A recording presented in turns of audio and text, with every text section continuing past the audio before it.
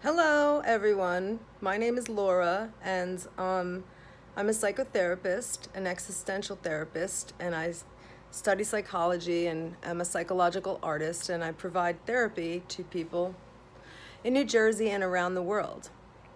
And I like to talk about pop culture and things that arise in popularity in our world today. And I want to start a YouTube channel where we can begin the conversation on this. So there's a few big things happening in America right now. And obviously one of them is having Donald Trump for a president, which is a very strange experience if you live in America, trying to imagine how the world sees us. So that's one pop culture phenomenon that is weird.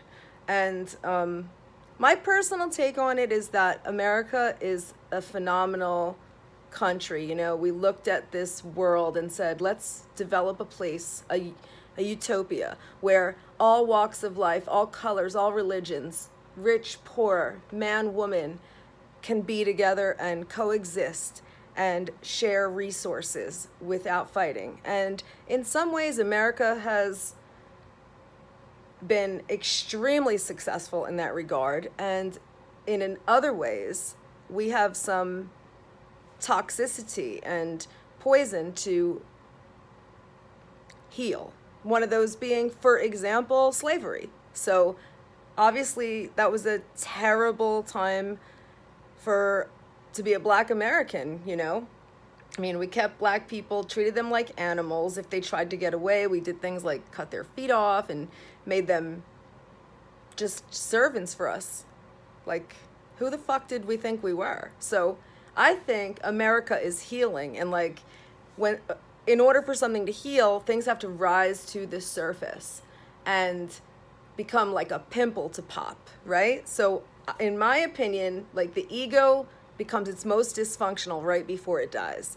And Donald Trump to me exemplifies that last gasp of ego, breath right before it dies and he has to he had to come up for America to sort of project onto him all of our dysfunction so that it can come up and heal and we can realize it and have a much more peaceful country where these things can coexist again in a better, more advanced, and evolved way because evolution only moves forward. It doesn't move backwards, it only goes in one direction. And therefore, Donald Trump is part of that evolution. So I see it as the ego of America kind of dying, the big pimple. And when it's over, we will heal.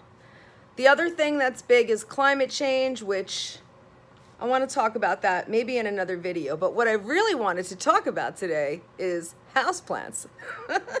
and I see like, you know, everybody always had a few plants in their house maybe that you took care of, probably like a philodendron or a pothos because they were unkillable, right?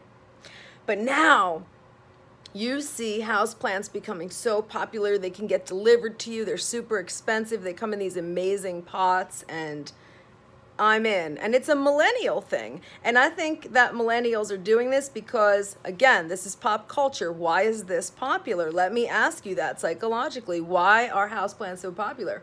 I think, of course, it's because millennials live in such a high tech world. Like, for the first time in history, we have technology in our hand at all times. Okay? And, um, that being said, which is an incredible thing, technology, we all love it. It all puts the world together. Now, though, there's less nature. And so I do think this ties into climate change because in order for the world to be healthy, we have to have plants. And technology gives rise to this deep yearning inside of a human being to have a craving for more nature. So I'm just gonna show you a few of my house plants, okay? Oh, I don't think I could turn the camera around. Let me see. No. All right, so I'll just flip it around so you can see just how many I have. I'll go in the mirror here. See? So I have, this is just my office, all right? So many houseplants. There's my very rare Bantel Sensation Sansevieria snake plant, which is silver. It's beautiful compared to the ordinary one. I have a bamboo tree. here are some other trees. And I'm about to take all of these le- neon lemon lime philodendron pothos, whatever, and put them over my bed so that it feels like I'm sleeping in the woods. Why are houseplants so popular? Why do I even crave this? Because I love popular things, even though I'm 49. um, but again, I think I even I yearn for nature and crave for it because we're surrounded by so much technology all the time.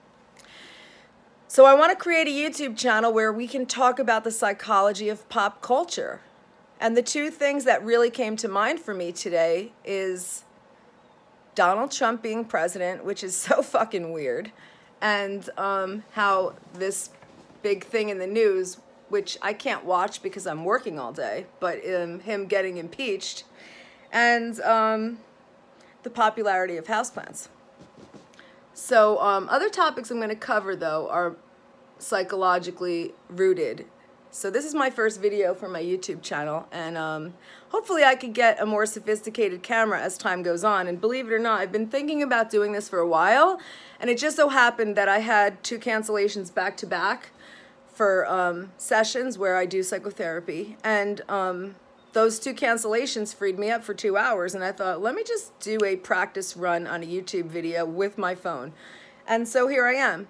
So I didn't really um, organize anything. As some of you might know, I used to be on a very popular radio show with Rev Bob Levy, who is a comedian. So um, it's not that I don't have experience being on air, so I do, but um, this was just off, I had been thinking about it, and this was just off the top of my head, so I want to talk about psychology and existentialism, mindfulness, meditation, and pop culture and what things are popular in our world and why. And so that was it. Donald Trump and houseplants today.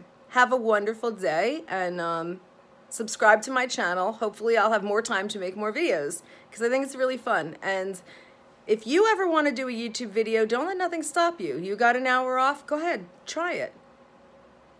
Anyway, see you next time. Bye.